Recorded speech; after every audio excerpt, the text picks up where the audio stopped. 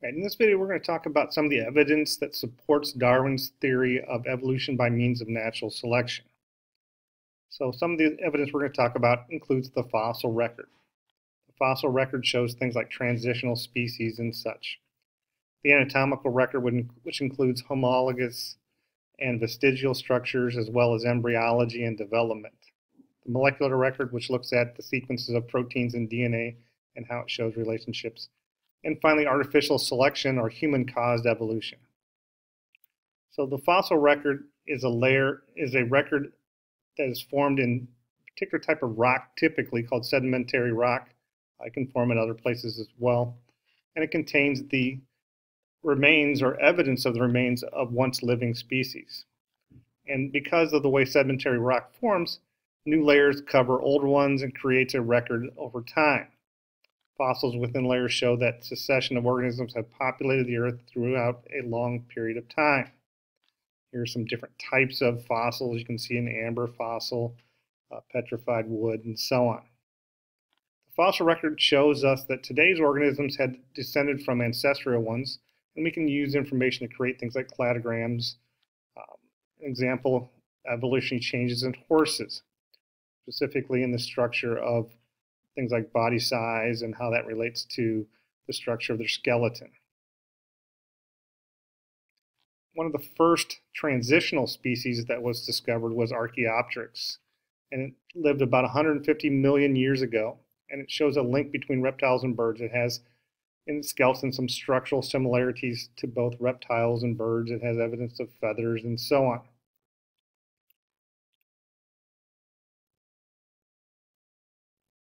So for a long time, the transitional species or transitional fossils, we really weren't finding what we thought. So the question was, you know, where are they? Why are they not showing up? Is there a problem with the theory of evolution? Um, another transitional species was this uh, Tiktaalik, uh, which shows kind of the the evolution of species going from living in the sea to living on land. And that was discovered relatively re recently, uh, back in 2006. The anatomical records homologous structures are similarities in the characteristics resulting from a common ancestor. Here we see the forelimbs of humans, cats, whales, and bats. And you can see they've been modified for specific adaptations, but they have some similarities, uh, specifically here in the wrist bones. We can see this as well as in other bones. So homologous structures are similar structures, similar development, but different function. So there's a, an evidence of a close evolutionary relationship between all these different mammals here. They have a recent common ancestor. Uh, here you can see different kinds of leaves and how they've been adapted to different environments, like succulents for desert environments, spines for protection um, tendrils for growing up structures, and so on. Colored leaves. So these are all homologous structures.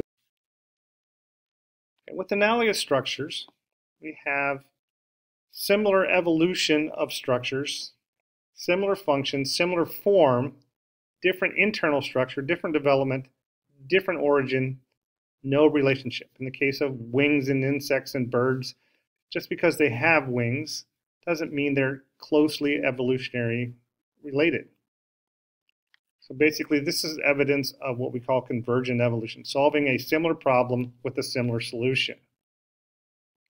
So flight evolved actually in three different groups. So we have evolution of a similar uh, solution to a similar problem. That's analogous structures.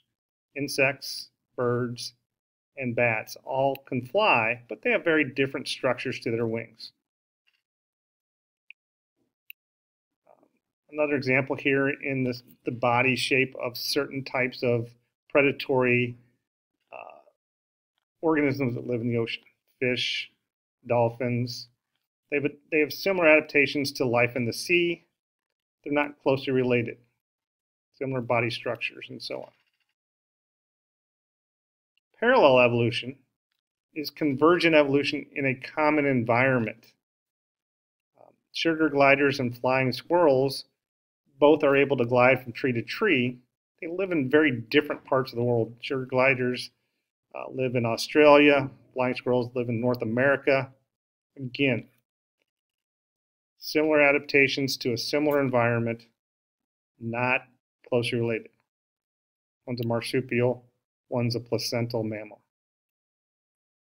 So parallel types across continents. Here's different examples here you can see. So the, the anteaters, the different types of nocturnal insectivores, different climbing animals, gliding animals, uh, predators that stalk or predators that chase, and so on. Vestigial organs, modern animals may have, have structures that have served little or no function over time. There are remnants of structures that may have been functional in their ancestors. Deleterious mutations accumulate genes for non-critical structures without reducing fitness, so these organs uh, change. Snakes and whales. Both of them have pelvic and leg bones. Neither one of them can walk. The eyes in the blind cavefish. The human tailbone all examples of vestigial structures, things that may have had a function at one time, but don't anymore today.